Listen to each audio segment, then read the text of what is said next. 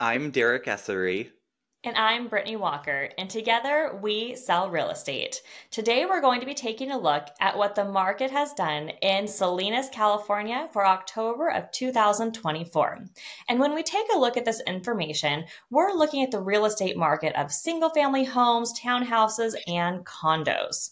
The first item up is going to be your average sales price. We did see an 8% decrease in the month of October. This is compared to the previous three months. So in October, the average sales price was $751,000. And I would attribute this to more lower priced homes selling towards that last part of the year. We see a majority of our luxury listings come on in the spring. So we'll have to keep an eye on what the market does in Q1 of next year. And now, when we take a look at the average sale price to list price ratio, this has actually stayed very healthy over the last several months. We are hovering just at about 100.5%. So, if you're a seller and you're bringing your home on the market at a realistic price, you can likely expect to get right around your asking price. And if you're a buyer that's looking at a new listing fresh to the market, this is probably going to give you a good idea of what that may sell for.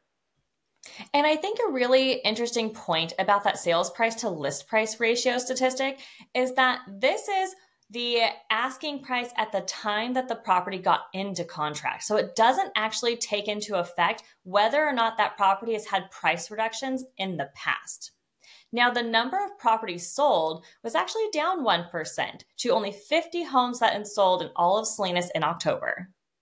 And now, when we take a look at the average days on market, so the amount of time from a home goes on the market to when a seller accepts an offer, it was a total of 26 days. And this is actually down about 14%. So things are actually starting to move a bit quicker this past month than they did over the summer, which is very interesting to see.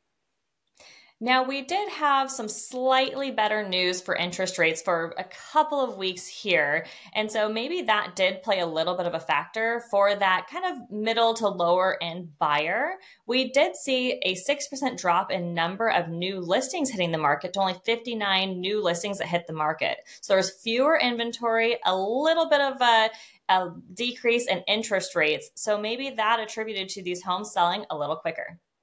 We hope this information is useful for you. And we understand that Salinas is a very large geographic area and different ZIP codes can look very different.